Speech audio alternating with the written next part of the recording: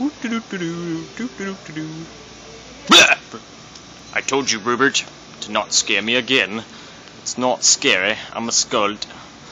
Yes. Yes, I know. Whee!